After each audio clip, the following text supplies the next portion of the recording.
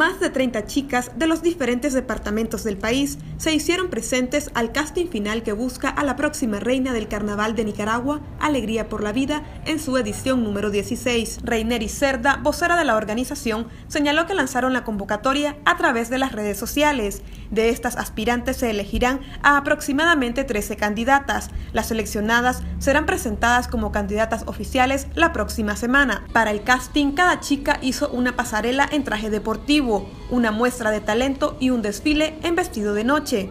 Se estima que la elección de la reina del carnaval se realice a inicios de abril. La organización del carnaval informó que ya está abierta la convocatoria para que los jóvenes con habilidades en la creación de trajes de fantasía puedan participar. Para mayor información sobre los requisitos, puedan escribir a la página del carnaval en Facebook. El próximo 22 de abril será el carnaval de Nicaragua en la Avenida Bolívar.